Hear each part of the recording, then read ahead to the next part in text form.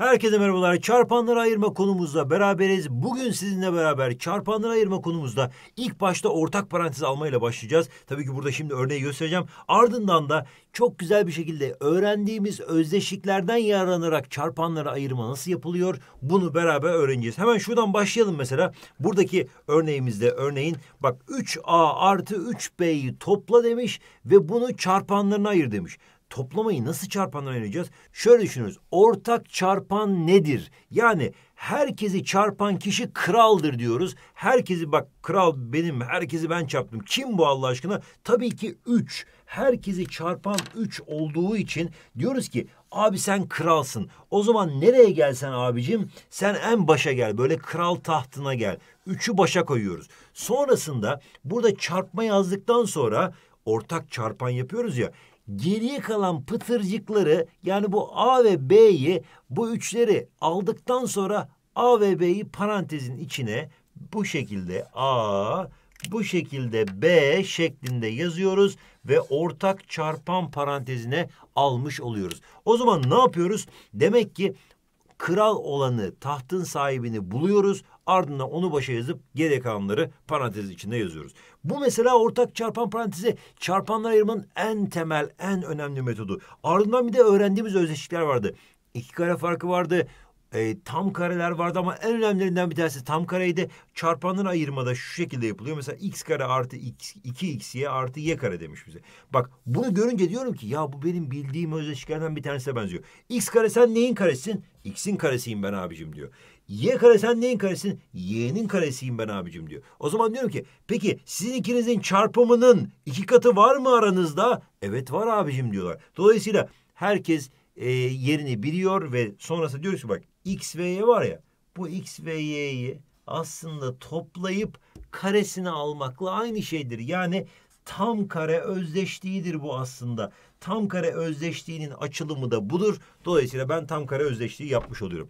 Eğer burada eksi olsaydı bu da eksi olacaktı aslında. Burada artı olduğu için bu da artı oluyor. İşte bunları teker teker sizinle beraber öğreneceğiz. Daha detaylı bir şekilde çarpanlar ayırma konumuzu programımıza uygun bir şekilde teker teker tane tane işleyeceğiz ve hemen size ödevinizi vermek istiyorum. Bu arada sıfırdan 8'e sayısaldan hemen sana, sana hangi sayfalardan çalışacağını söyleyeyim evladım benim. Hemen burada açıyorum. E, ne yaptık? Çarpanları ayırma konumuzu yaptık. Cebirsel ifadelerin son konusu aslında. Sayfa 88 ve 89'u yaparsan bu iş bitmiştir diyoruz. Taktikli kitabımızdan ki bu arada bu kitabımızın Eko taktiklimiz de var. Eko kitabı da var. Eko kitap versiyonu çok daha avantajlı. Onu da alabilirsin diyoruz. Burada da almadıysan eğer tabii ki. Özdeşlikler ve çarpanlar ayırmak. Test 46'yı yapmanı istiyorum. Test 46'yı yap. Hatta test 47'de MUS matematik uygulama sorularını da yapabilirsin. İstersen Eko kitapta da aynı sayfalar geçerli. Dinamo matematik kitabımızdan da hemen sana örneğin e, sayfalarımızı vermek istiyorum test 43'ü yapmanı istiyorum ve test 42'yi yapmanı istiyorum. Test 42 ve 43 aslında tam da bir de istersen 44'te de ünite değerlendirmeyi çözebilirsin diyoruz. Ve Zoru Bankası kitabımızdan da Zoru Bankası matematik kitabımızdan da hemen sana sayfaları vermek istiyorum. Burada da artık cebirsel ifadelerin son testi olan test 53'ü yaparsan bu işi noktalandırmış oluyoruz. Hadi bakalım o zaman dersimize müthiş bir şekilde başlayalım.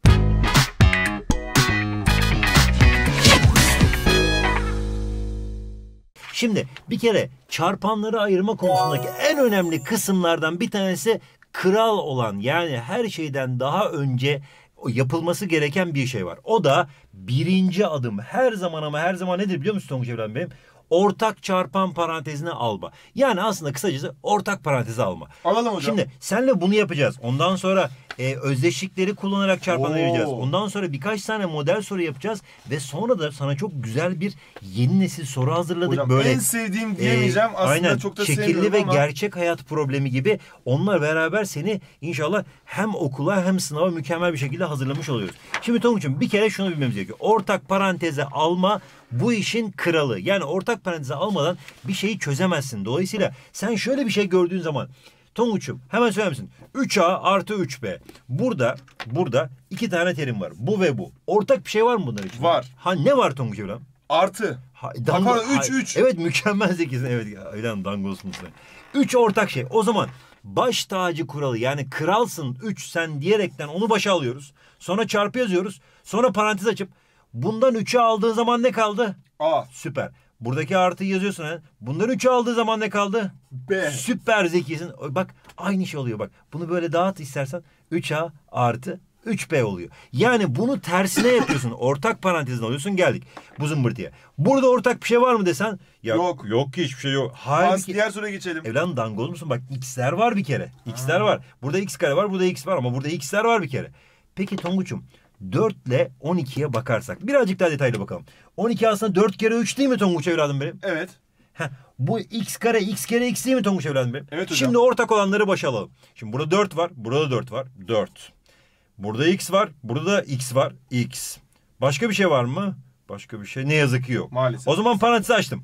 Şimdi bunun içinden 4x'i aldığı zaman geriye ne kaldı? Bu zavallı x kaldı. Yazık ya. Artı. Bunun içinden 4 ve x'i aldığı zaman ne kaldı? 3 ve y kaldı. 3y. İşte bu kadar. Wow. Ortak parantez almış olduk. O zaman ne yapıyoruz? Bak aslında tersten çarpsan 4x kare artı 12x eder. 4x çarpı 3y 12x eder. Anladım. Süper zekisin. Şimdi geldik bu zımbırtıya. Bu zımbırtıda ne yaparız ortak? Çünkü neden bu çok önemli? Normalde ben sana birazdan e, iki kare farkını en önemlileri göstereceğim. Ama ortak çarpan parantezini alma bu işin baş tacıdır. Yani ilk başta bunu yapmalısındır. Bir problemi çözemiyorsan bir iki ortak parantezi almayı Ünlülerin unutuyorsun. sultanı. Geldik bu zımbırtıya. Şimdi ortak bir şey var mı? Bak X. Ha bak şöyle düşünelim. x kübü x çarpı x çarpı x diye düşünelim. 2x kareyi x çarpı x e, hani 2 çarpı x çarpı x diye düşünelim. Bu da 5 çarpı x. Ortak şeyi alıyorum. Hepsinde x var. Sonra parantez açıyorum. Bundan x aldım. x çarpı x yani x kare kaldı. E, eksi diyorum. Bundan x'i aldım. 2x kaldı. Artı bu diyorum. Bundan x'i aldım. 5 kaldı. İşte bu kadar. Bunları Oh çarpan. be. Bak ne yaptık? Çarpan para. Bununla bu çarpılınca bu ediyormuş. Bununla bu çarpılınca bu ediyormuş. Ve çarpanlarını ayırmış olduk. Zaten konumuz çarpanlar ayırma. Geldik özdeşlikler. En önemli özdeşliğimiz nedir Tonguç'un? Matematikte en önemli özdeşlik. Bak adam da yaslamış e, kafasını buna. A kare eksi B kare. Harika. Buna ne diyorduk biz? İki kare farkı diyorduk. Gerçekten matematik tarihinde şu ana kadar yazılmış en önemli özdeşliklerden bir tanesi hatta en önemlisi bile olabilir. Geldik a kare eksi b karede. İşte söylentiler var hocam. Kesinlikle tebrik ediyorum. Bir şeyin karesinden diğerinin karesi çıkıyor. Mesela bir tane örnek. 25 eksi 16. 25 neyin karesi Tomuç? Beşin. Süper. Eksi 4 16 neyin karesi? Pardon. Sonra bak söyledim görüyorsun tebrik ederim. Troll. 4'ün karesi. Şimdi bak buradaki yöntem diyor ki bize. A kare eksi b kare diye bir zımbırta görürsen diyor. Birinciden ikinciyi çıkar diyor. Bir bak bu neyin karesi A'nın? Bu neyin karesi B'nin? Bu ikisini çıkar birbirinden. Bir de bu ikisini topla birbiriyle bunları çarp diyor bu kadar. Yani 5'in karesi eksi 4'ün karesi aslında 5 eksi 4 çarpı 5 artı 4 diyor adam bize. İstersen bir deneyelim bakalım. Deneyelim. Gerçekten. 5 eksi 4 kaç eder? 1. 5 artı 4 kaç eder? 9 eder. 25 eksi 16 9. Ah işte bu kadar. Wow. Süper bir şekilde bulmuş olduk. Şimdi testini de yaptık geldik bu zımbırtıya. Böyle bir şey çıktığı zaman bu neyin karesi diye sor kendine. Çünkü bak bir şeyin karesinden bir şeyin karesi çıkıyor değil mi? O zaman iki kare farkı. Bu neyin karesi? X. Süper zekisin. Bu neyin karesi sence Tonguç evladım benim? 4y'nin. Evladım dangoz musun? Hemen bakalım. 4y'nin karesi. 4y çarpı 4y etmez mi? Evet. 16y kare etmez mi? Dangoz evladım Aa. benim. O yüzden çok güzel bir hata yaptın. Herkese örnek oldun. Teşekkür ederim. 4y kare aslında 2y'nin karesi. Yine olsun yine yaparım. Süper zekisin. Yapma evladım. X eksi 2'ye yazarsın. Bir de x artı 2'ye yazarsın. Sonra bunları böyle arasına çarpıp koyarsın. Bitti bu kadar. Geldik bu zımbırtıya. Bu neyin karesi Tonguç evladım benim? Bilmem. Evet, Birin ha. birin dangoz evladım benim. Bir, birin karesi. Bu neyin karesi? Şimdi artık doğruyu söyleyebilirsin ümit ediyorum. 3x'in. Süper zekisin. Bak 9 3'ün karesi olduğunu aklına gelir. 3 Süper. kere 3 9. Harika. O zaman 1 eksi 3x yaparsın. 1 artı 3x yaparsın. Sonra bu ikisini birbirleriyle çarparsın. İşte bu kadar diyoruz ve geçtik. Geldik şöyle bir zımbırtıya. Adam bize böyle bir soru verebilir. Soruda bak. Bu, bu çarpanla ayır diyor. Bu bir şeyin karesi mi? Evet. Hayır A, A, A bir şeyin karesi.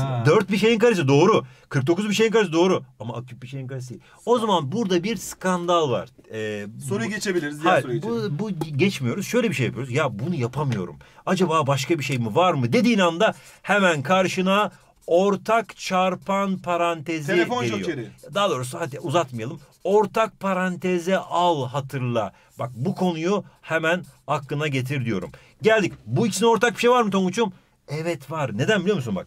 4A 4 çarpı A demek. Tamam eyvallah. 49 A kare e, A küpte e, 49 çarpı A çarpı A çarpı A demek. Bu ikisinde ortak bir şey var. A. Aa işte bu kadar. Çarpı diyorum parantez açtım. Bunu aldığım zaman 4 kaldı. Eksi. Bunu aldığım zaman 49 pardon şöyle yazalım. 49 iki tane A kaldığı için A kare kaldı. Şimdi geldik zımbırtıya. Şu zımbırtı neye benziyor Tonguç'um? Bu bir neyin karesi? 2'nin Süper. Bu neyin karesi birazcık zor bir şey biliyorum. 7A. 7A olağanüstü bir beni ve birbirinden çıkıyor Tonguç. İşte bu kadar. O zaman diyorum ki A burada kalsın zaten vardı. Bu 2 eksi 7A çarpı 2 artı 7A'dır aslında şu zımbırtı. Çünkü zaten bunu yapmayı öğrenmiştik. İşte çarpanlarına ayrılmış versiyonunda bu olduğunu söyleyebiliriz. Geldik. Bir de çok önemli bir özdeşlikler daha vardı. Hangisi ne onlar? önemsiz onu söyleyin hocam. Evladım e, ilk- e, şey ben de unuttum. E, evladım dangoz musun? Bak beynimi karıştırdın. E, tam kare özdeşlikleri. İsmini bile unuttum senin yüzünden. O kadar kötü espriler yapıyorsun. önemsiz hocam. Tam kare özdeşliklerinde yapmamız gereken şeyleri hatırlayalım hemen. A artı B'nin karesi. Hemen nedir? İnsan ne der? A artı B'nin karesini görünce. kare artı B kare. A kare artı B kare. O zaman yazalım bak. A kare artı B kare. Ama aralarına bir boşluk koyuyorum. Neden boşluk Neden? koyuyorum? Çünkü araya bir şey giriyor. Dangoz evladım benim. Araya ikisini çarp Tonguç ne eder? A çarpı B, AB eder. Bir de 2 ile çarp 2 AB eder. Bu ikisinin e, çarpımının iki katını birbirine ekleyeceksin. İşte bu, ara- bu araya bu zımbırtı giriyor. Burası hassas. Şimdi bu, bu araya da aynı şekilde A kare eksi B kare yazıyorsun. Çünkü eksi B'nin karesini alsan da artı B kare eder. Bunda problem yok. Ama araya bu sefer ikisini çarp eksi AB 2 ile çarp eksi 2 AB giriyor bu sefer de. Yani o kısacası ya bunu gördüğün zaman A kare artı B kareyi yapıştır bir kere. Bunlar kesin. Ama araya ya bu girecek ya bu girecek. Eksi olunca eksi 2AB artı olunca artı 2AB giriyor. O zaman sen x artı 4'ün karesi nedir? Ya kardeşim x kare artı 16'yı yapıştır bir kere tamam mı? x kare artı 16. Bunun Bu zaten. Bu fix zaten. Bir de bu x'ini çarp Tonguç. 4x. 2 ile çarp 8x. Artı olduğu için artı 8x. Bitti bu kadar. Geldik bu zımbırtıya. Şimdi bir kere bunun karesini al. 4x kare eder. Unutma. 2x çarpı 2x eşittir 2 kere 2 4. x kere x 4x kare eder. Geldik. Bunun karesini al. Artı 9 eder. Eksi 3'ün karesi 9 eder. Artı Yani. 9'u. Bu ikisini çarp. 6x e, tabii 2 ile çarp 12x. Burada eksi olduğu için eksi 12x diyorum. İşte bu kadar diyorum ve diğer işte geldik bunların Yeni nesil uygulamasına. soru. Hayır yeni nesil soruya gelmedik daha. Ama burada şöyle bir şey var. Kardeşim sen demin görebiliyordun ama bu sefer tersten görebiliyor musun? Bu neyin karesi x'in karesi. Bu neyin karesi dördün karesi değil mi Tonguç'um? Evet. Bu ikisinin çarpımının iki katı ortada var mı? x Aa. çarpı 4 4x. 8x ortada var. Ve eksi var. O zaman bu ikisinin farkının parantez karesi yani tam karesi diyoruz ve olayı bitiriyoruz. Yani birazcık görme işi burası. Tahmin ediyorum birazcık zor. İnce. Mesela bu neyin karesi Tonguç Evren benim? 2x'in. Bu neyin karesi? Üçün. 3'ün karesi. Buradan gördüm. Sonra diyorum ki ya bu ikisinin çarpımının yani 6x'in iki katı burada var mı? Var. O zaman arada artı olduğu için 2x artı 3'ün karesi deyip tam kareyi yapıştırıyorum. Geldik bu zımbırtıya. Eyvah burada ne yapacağız? Eyvah. Bu bir şeyin karesi değil. E bu da bir şeyin karesi değil. O zaman takılıyorsan bil ki ne vardır Tonguç evladım benim? Hemen en başta söylediğim gibi. Ortak parantez kraldır. Ortak parantez vardır. Çünkü burada üçünde de ortak bir şey görebiliyorum. Şimdi bu zımbırtı aslında 3 çarpı x çarpı x'tir. Çünkü 3x kare. ya. Bu aslında 3 çarpı 2 çarpı x'tir. Bu aslında 3 çarpı 3'tür zaten. Bitti. Şimdi hepsinde ortak ne var evladım? Hatta 3 çarpı 1'dir diyebiliriz değil mi Tonguç? Diyebiliriz hocam. Hepsinde ortak 3 var değil mi? 3 parantezini aldım. Bundan 3'ü alırsam x çarpı x x kare kalır. Bundan 3 alırsam eksi 2x kalır. 2 çarpı x 2x kalır. Bundan 3 alırsam artı 1 kalır. Al bitti bu kadar işte. Şimdi geldik şu zımbırtıya. Ne yapıyorduk? Bu neyin karesi kardeşim? X'in karesi. Bu neyin karesi? 1'in karesi. Bu ikisinin çarpımı x. 2 katı 2x. Oh be ortada Oh var be. zaten. Ama eksi olarak var. O zaman ben diyorum ki 3 zaten burada vardı. Bunu aynen yazdım. Ama şu zımbırtı aslında x bu ikisi eksi olduğu için eksi birin tam karesi gibi düşünülebilir diyorum. Çünkü o çarpımın katı ortada var diyorum ve olayı gerçekten profesyonel bir metotla çözmüş oluyorum diyorum.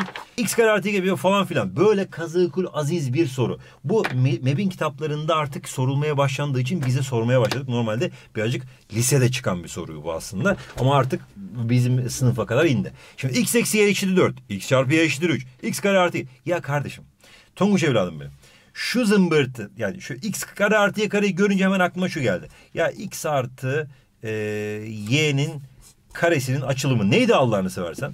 x kare artı e, artı y kare vardı zaten. Bir de artı 2xy var değil mi? x kare artı 2xy artı y kareydi. Şimdi bu zımbırtıyı aklıma getiriyorum. Ya Tonguç evladım benim. X kare artı y kare buydu. Bir de Tonguç bir de şu vardı hatırlıyorsan. x eksi y'nin karesi de vardı. x eksi y'nin karesi neydi? x kare eksi 2xy artı y kare değil mi Tonguç evladım? Evet hocam. Adam bize neyi sormuş Tonguç? x kare artı y kare sormuş. Adam bize neyi vermiş? x eksi y eşittir 4 demiş. Ya o zaman burası 4'tür Tonguç.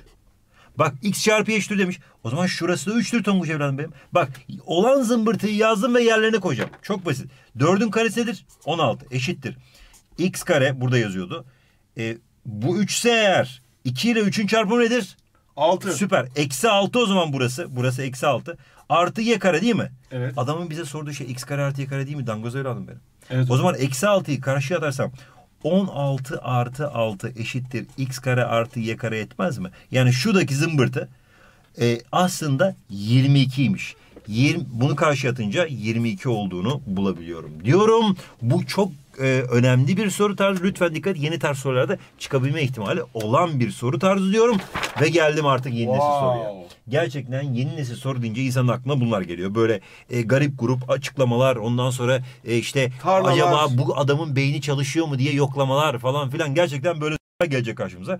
E, yukarıda kenar uzunlukları 2x artı 7, x artı 5 olan iki karenin köşelerinden bir kenarları sırasıyla 4 ve 2 santimetre olan kareler kesilip atılıyor. Ha şunları atıyoruz demek ki. Şunları attık, şunları attık, şunları attık. Bunları attıktan sonra e, attık. Şekiller kenarlarından katlayıp üstü açık bir kutu haline getiriyor. O zaman şuradan şöyle katlayıp şöyle bir kutu yapıyoruz. Nasıl bir model çizeyim senin için Tonguç Evren benim. Şöyle bir e, kutu haline getiriyoruz bunları aslında. E, şöyle katlıyoruz ve şöyle bir kutu haline getiriyoruz.